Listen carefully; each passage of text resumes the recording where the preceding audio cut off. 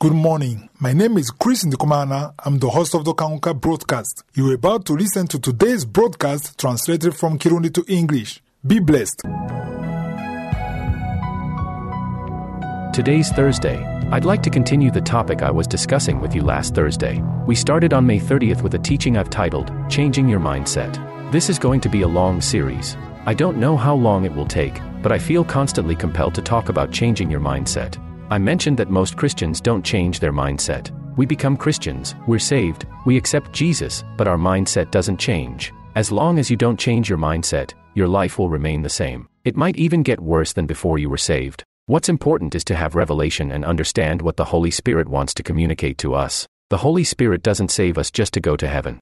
As long as we're on earth, our mindset needs to change, and there are many things the Holy Spirit wants to teach us. If you follow this entire series on changing your mindset, you can't stay the same person. Something in your life has to change. From the beginning, we saw that God tries to teach humans through the ant. The ant is so small, but the Holy Spirit wants to teach us through it. We have read Proverbs chapter 6 verse 6, which says, Go to the ant, you sluggard, consider her ways and be wise. He's speaking to someone, he's speaking to you, and he's speaking to me. I've learned a lot from the ant. The ant has taught me a great deal. If today I can manage my life and my finances, it's thanks to the ant. I learned to manage finances from the ant. The Word of God says, Go to the ant, consider her ways and be wise. In other words, you can become wise just by observing the ant. Glory to God. Verse 7 says, Which, having no captain, overseer, or ruler. What does that mean? It means there's no leader telling the ant, do this, do that. No, she is created that way. In fact, God has given wisdom to the ant for our sake. The wisdom God gave the ant is for us to learn from.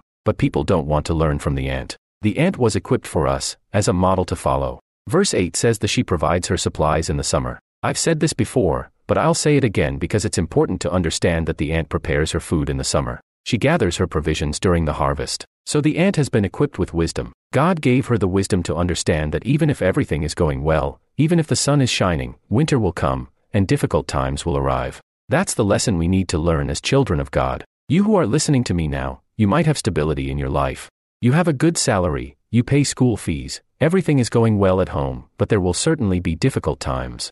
It is naive to think that there will never be problems in your life. Don't think that because you have faith, because you are a Christian, because you pray every day, there won't be any problems. That's not true. Teachings that claim you can pray to avoid problems are false teachings. As long as you are in the flesh, as long as you are in this world, there will always be difficult times. You need to be aware that difficult times will certainly come. If you have the wisdom of the ant, you prepare accordingly. For example, if at the beginning of the year you set aside some money just in case problems arise, and if by the end of the year there are no problems, that's great. You can use that money for yourself, for vacations, or for something else, but at least you have prepared wisely, like the ant. For instance, if you earn $500 a month and you spend all $500, sometimes even before the end of the month you run out of money and have to take on debt to make it through the month. If you do that, it means you don't have the wisdom of the ant. Let me refer you back to Proverbs chapter 6 verse 6, where the word of God says, Go to the ant, you sluggard, consider her ways and be wise. She has no captain, overseer, or ruler, but she prepares for the future.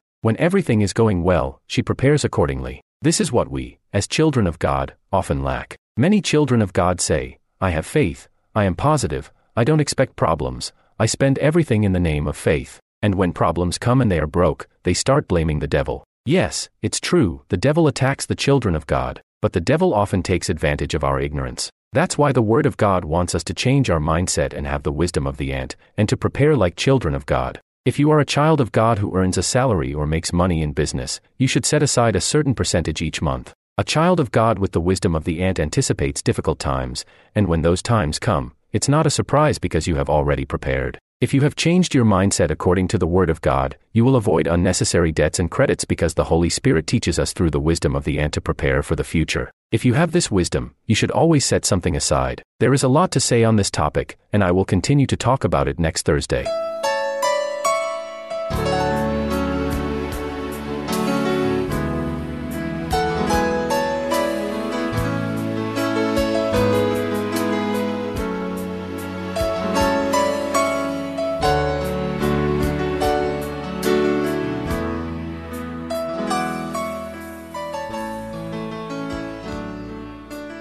It's now time to continue our study of the letter of Paul to the Colossians. Today we continue our study of the second chapter, and I will focus on two verses that are my favorites in the entire letter of Paul to the Colossians. These are Colossians chapter 2, verses 14 and 15. If you are reading along in your Bible, you might want to underline these two verses. Verse 14 and verse 15. These verses have set me free. They are liberating verses that give you peace and freedom in the Lord.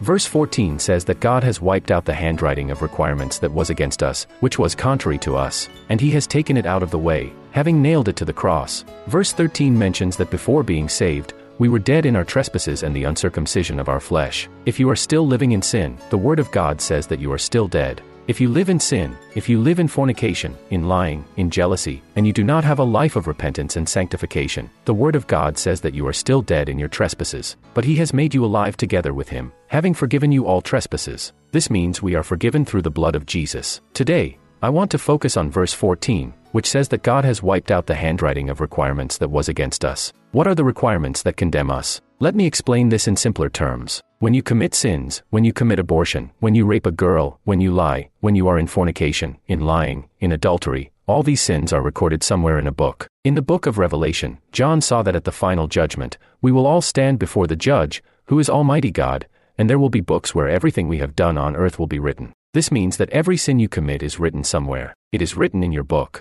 There is a record concerning your sins. But when Jesus was crucified on the cross, the Word of God says in verse 14 that God wiped out this record. In other words, He erased all the pages that condemn you. This means you are condemned because the devil accuses you based on your sins. He can say to God, He did this, He killed children, He lied, He stole, He did this and that. But all of this is written on a record. And this record was wiped out on the cross because the Word of God says that God destroyed it. He destroyed it, He erased it. How did He erase it? by nailing it to the cross. Verse 15 is even more interesting. After wiping out the record, after destroying the handwriting that condemned us, he disarmed principalities and powers. The devil is described as the prince of this world according to Jesus. Jesus said that the prince of this world is coming and he has nothing in me. The prince of this world is the devil, it is Satan. His demons have power from Satan, but that power has been stripped away. When someone is stripped of their power, it means all their strength is taken away.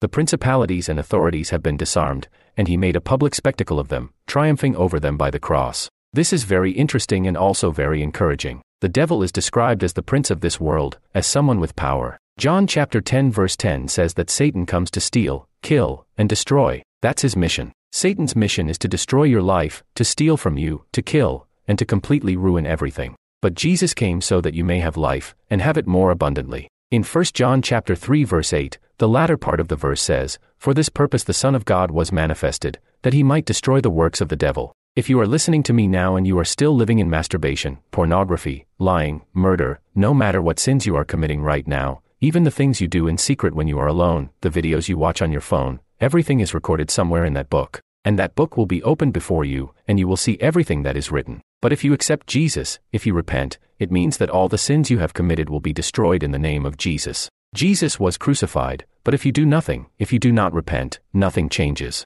That is why 2 Corinthians chapter 5 verse 17 says, Therefore, if anyone is in Christ, he is a new creation, old things have passed away, behold, all things have become new. In other words, the handwriting of requirements that was against us is erased when you come to Christ. It means that everything you have done will be nullified. It cannot condemn you. Not a single page can condemn you. If you live in lying, Satan presents your lies to God because it is written somewhere. He accuses you because of everything you have done, but when you come to Christ, it is erased, it is destroyed. The record that condemns you is erased. And in verse 15, not only does he erase the record that condemns you, but he also disarms the principalities and powers. This means that the bonds that bind you in sin are disarmed as long as you come to Christ. It is through the love of Jesus on the cross that we receive a life of victory. God willing, I will speak more about this tomorrow because it is very important that we discuss it. May I am bless you. If you're blessed or transformed by Kanguka teachings, you can send us a WhatsApp audio on plus 2567813773737.